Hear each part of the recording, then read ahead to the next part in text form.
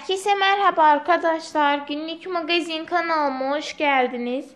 Yepyeni bir video ile sizlerleyim.